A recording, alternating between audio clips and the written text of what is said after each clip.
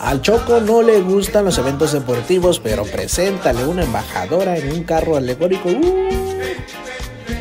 ¿Será que le gusta la algarabía chichero al tabasqueño? Sí, así es. Llenamos las calles completamente para ver a las embajadoras de cada uno de los 17 municipios bailar, regalar dulces y ver la obra fabulosa, extraordinaria de los artesanos.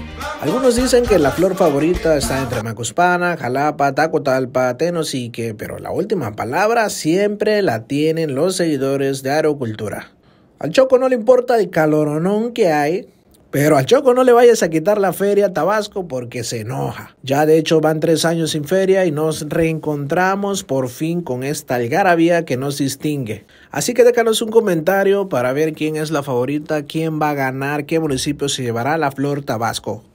Gracias Nacho por esas tomas aéreas. Síguenos para más. Un poco de aerocultura, chamacos.